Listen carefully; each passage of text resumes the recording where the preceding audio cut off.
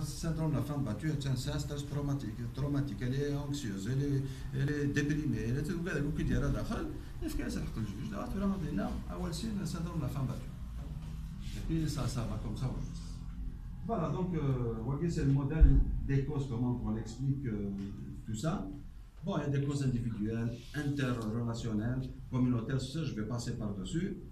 Puis là, on va regarder les conséquences de tout ça.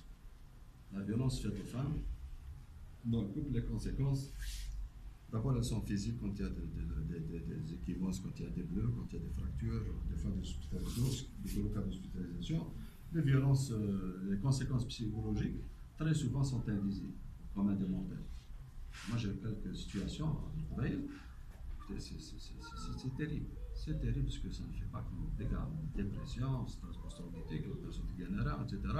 On a mis la dame euh, sous traitement, c'est des antidépresseurs, il y aura la prise du poids. Il, aura, il lui a rajouté un autre, un autre, euh, une autre métaphore zoologique, il y aura. Et ça, ça vient. C'est, c'est, oui, c'est, comme ça. Parce qu'elle était, était plus, plus, une femme chétive. Il y aura après les médicaments qu'on a mis, il y aura, il y aura le Voilà, donc. Euh, et puis, euh, comme elle a des enfants, elle ne veut pas se retirer parce qu'elle n'a pas assez de revenus, euh, ce que j'avais expliqué tout à l'heure, etc. Donc, euh, voilà. bon, les conséquences sociales, ça c'est social et économique. Bon, économique, c'est sûr que s'il y a des séparations, c'est que une femme, les, familles, les familles monoparentales, là, c'est les femmes. après, les gardes partagées, après, il faut il faut trouver un revenu plus adéquat et, et c'est le choix. Et pour le social et, professionnel, c'est les, trucs d'absentéisme. Des coups d'absentéisme, souvent, c'est assez compliqué. Euh, deux, trois jours, 15, euh, 20 jours d'absence, mais l'employeur qui est en masse parce qu'il faut, il vous met dehors. Malgré la, la, législation, il y a toujours une façon de contourner le. Donc, c'est des trucs de perte de, productivité, etc.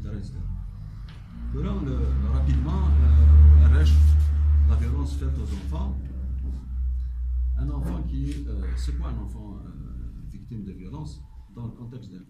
Certains psychologues parlent, mais et quand une chicane, une altercation physique, des insultes à répétition, et il faut le considérer comme étant quelqu'un de victime de violence D'accord? L'un des enfants qui sont battus euh, avec la même chose, avec des fractures, etc.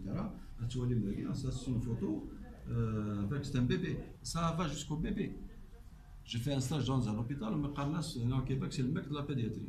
Mais c'est un service social et on répertorie comme ça, des, calamités comme ça, y compris là-bas. C'est une photo, c'est une fracture. Alors, euh, à l'intérieur de tout ça, un enfant, comment on va faire un enfant de tout ça? D'abord, premièrement, c'est un secret. Un secret, un gros secret pour un enfant de 7-8 ans, c'est très lourd à porter et ça va le rendre malade. Euh, après, l'enfant va se donner euh, certains rôles, il va devenir éducateur,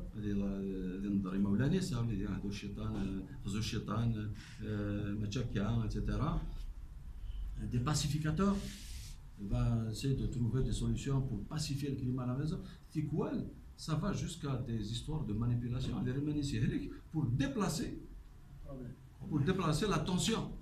Parce que Mehelik, euh, elle va se lever ton père, donc il va attirer, ça va, ça va baisser la, tension. Mais on est dans un comportement aussi à la langue qui peut devenir pathologique, ça va poser un problème. Il va le faire à l'école, il va le faire avec les amis, etc. etc. Euh, il y a une autre façon aussi, euh, c'est la parentification. Il y aura, de, sur le plan psychologique, il y aura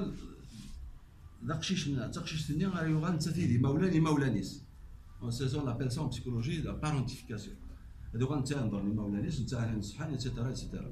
et ça ça cause des troubles aux enfants pour aller un peu dans le, détail et euh, à l'intérieur de tout ça c'est tiraillement c'est tiraillement un enfant il de la même façon alors il va vivre ce qu'on appelle un peu des conflits de loyauté mais il met dans ça mais mais et là, ça donne des fois, ça donne lieu à des, comportements, ce qu'on appelle euh, des agents doubles.